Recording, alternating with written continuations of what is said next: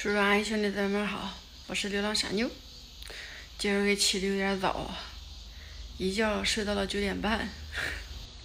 在家车快完事儿了，今天呢打算把这些东西都收拾收拾，没有用的就扔吧扔吧啊！这会儿要精简一下了，看看吧，这老大一堆。今天把它们全收拾收拾，归拢归拢，就要往新车上搬了。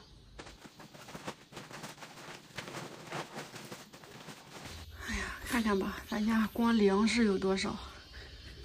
小米儿这是，这是咱家的大米，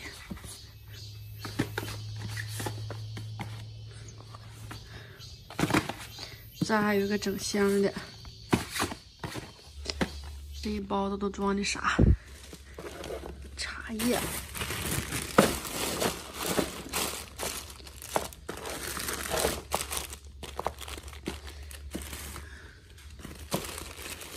这还是在那个云南带回来的那个古树茶。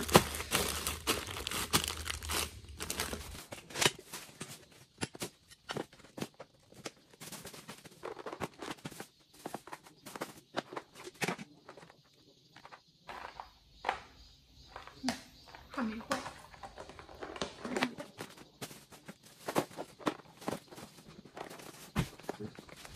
我这还带了个钓鱼的，跟那真事儿似的。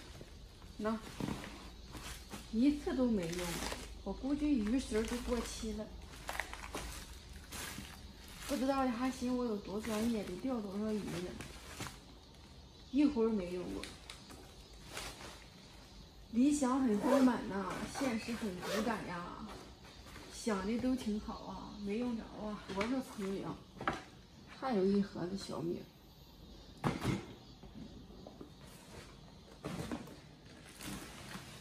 是干啥的吧？家里边产粮的，不缺粮食。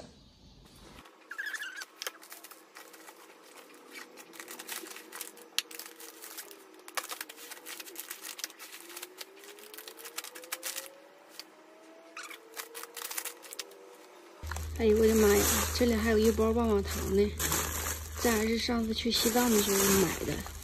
买了两大包，还没用完，还剩了这么多，先放着吧，等到下次再去洗澡的时候，再给洗澡的那些小朋友们分分，先留着。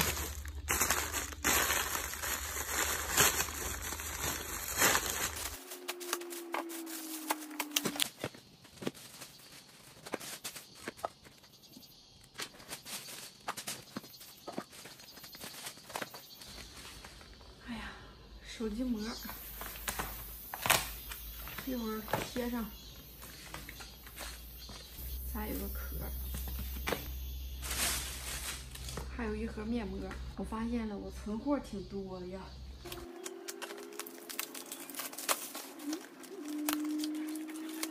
这桶油不？